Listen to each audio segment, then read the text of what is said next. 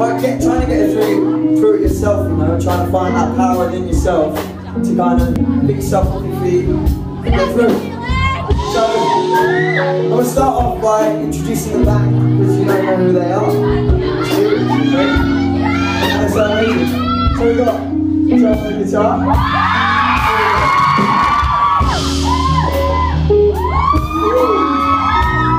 Vibe. So we've got on keys. Giorgio on Got JT on bass.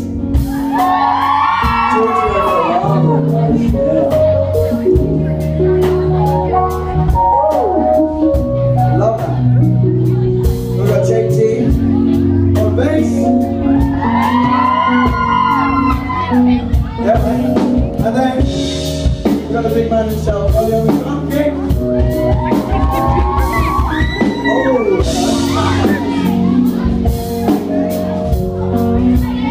se possa